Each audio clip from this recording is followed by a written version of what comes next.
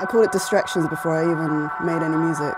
Because, like, making albums fine, um, but then when you have to present it, it's a different thing, and then you have to tell people the concept of the album, and I didn't really have a concept, and I think I got distracted from having themes and a concept. You always hear her tunes from a mile off, like you know who you know who made it. Doesn't matter if it's like she can come and use your, your favorite patches and make her tune still. Yep. It's mad. Always sounds like her. Yeah. And she got she got me in my emotions from day like Yeah. what's that tune?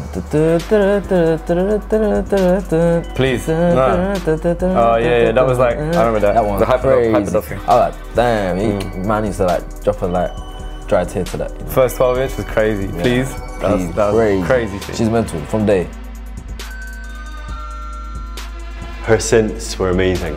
That's what I first noticed about her music. She had these arpeggios that would go all crazy. This was a moment like with the with Hyperdub. For some reason, I was signing a lot of stuff that had crazy synths, very colourful, day glow.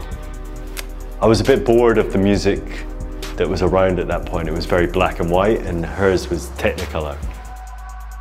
I was in like a, a moderate car crash, and that kind of led to me not working for like a good two months. And it was really frustrating because I couldn't move and um, I couldn't laugh, I couldn't cough. It was, yeah, I bruised my ribs pretty badly. Um, so that's when I started thinking maybe this album is about maybe physical pain rather than emotional pain.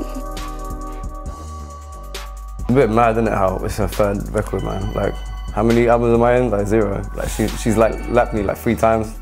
It's not a competition, obviously, but she's it's just sick. Like she's so accomplished. That's what I was when when this when this was dropped. I was like, bro, I can't believe this is how like I can because obviously she deserves it. She's sick, but it's just like she's come so far. Yeah. Three albums, man. That's mad.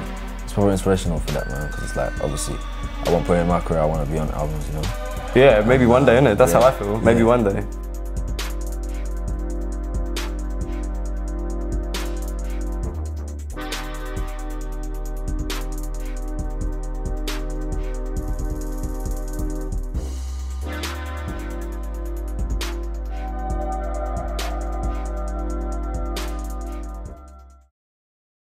Describe Ikonika in one word.